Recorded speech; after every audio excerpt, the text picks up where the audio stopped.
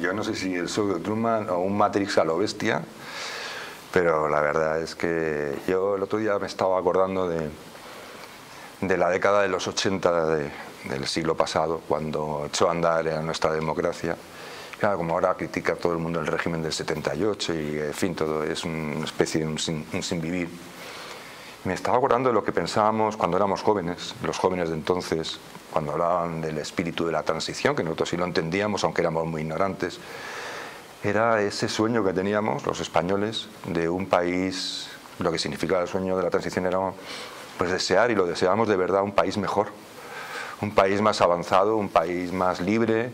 un país con más oportunidades, un país más justo. Y desde luego esa es la aspiración y, efectivamente ahora miro lo, lo que hay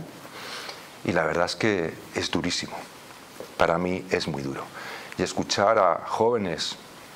que bien preparados, no de los que estudian eh, la teoría crítica ni, ni, cosas de ese estilo, sino cosas ingenieros o médicos o, o economistas o que, que, acaban de salir de la universidad, que te comentan y hablas con ellos diciendo que este país no tiene remedio. Eso que te lo digan gente joven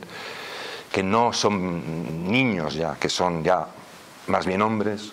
o mujeres, es, es algo que, que,